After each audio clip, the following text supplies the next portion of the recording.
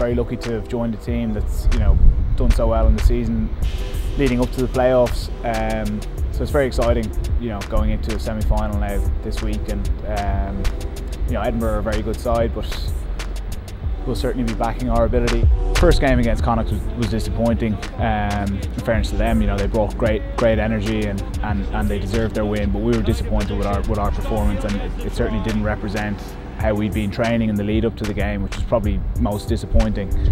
With the Leinster game, the, you know the final result was, was a, a, disappointing one, but we know, and it certainly felt like it, it was a one-score game for a large part of it. Um, and you know we were happy with, with certain parts of our attack.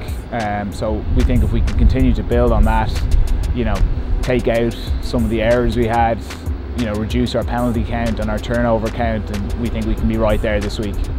Edinburgh are a very good side. You know they've they've done very well to win win the conference. You know they, they keep it nice and tight. They have a good kicking game, and they're very hard to break down defensively. So we know we're going to be at, have to be at our very best this weekend to be able to get a win.